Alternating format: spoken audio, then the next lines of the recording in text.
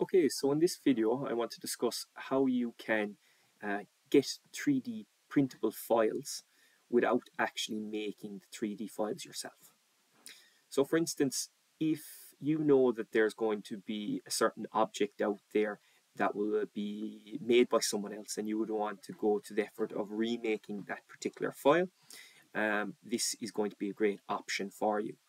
Um, as well as that, if you are not able to use CAD software, computer aided design, like SolidWorks or AutoCAD uh, or Onshape, um, you will not be able to make a 3D file which can be printed. So this again is, is a good option for you.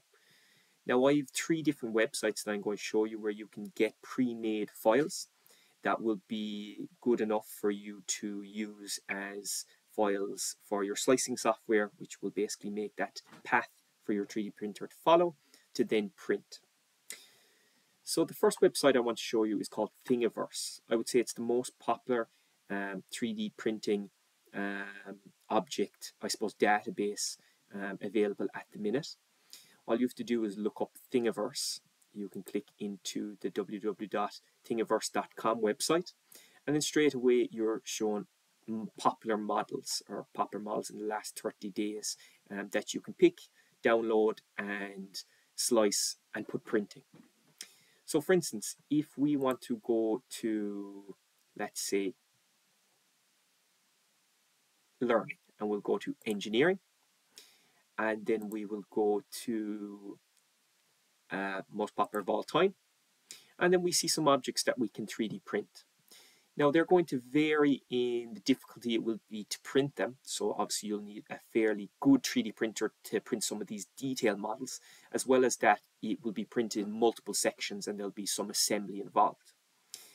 Um, but it can be very handy for some of the basic objects. For instance, you can do this nut and bolt, uh, where you can just download these files and print these four parts, and then you're working nuts and bolts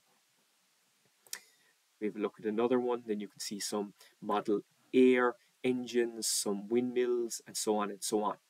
And all you really need to do is click into these and download them, and then you have your STL file. And then that STL file can be used to slice, which we'll talk about in a different video.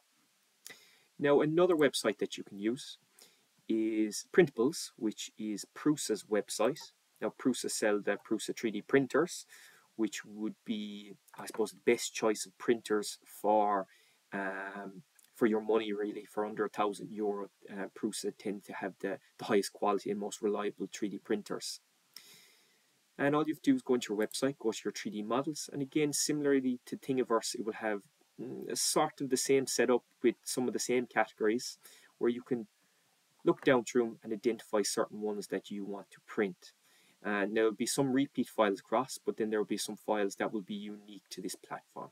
For instance, we have a nice cable organizer here, which you can attach to the side of your desk, which you can click on, and then you can download those 3D files to then print. Now, the last option is a bit more advanced. It's called GrabCAD.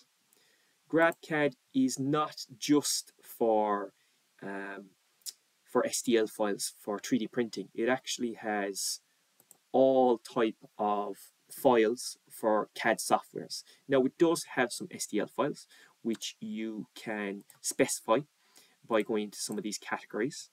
But what I tend to do is I go for the software that I use. So for instance, if I was using SolidWorks, so you'd have to have a bit of knowledge about SolidWorks. And if you search for solid work items, now there's going to be some very detailed items here that you're not going to want um, but there is going to be a lot of items um, that you can use. For instance, if you want to 3D print a hinge of some sort, you can search hinge and leave it on um, SolidWorks. You can select the hinge that you would like to 3D print. Some of these won't be 3D printable because they might be too, um, how could you say, too complicated for a 3D printer. But something basic like this one here, you can click on it.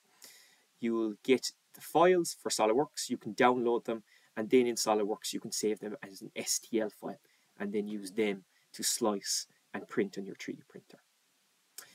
Now, really for the beginners who don't have that knowledge of computer aided design, I would stick with these first two websites. and choose your files off this and then print them.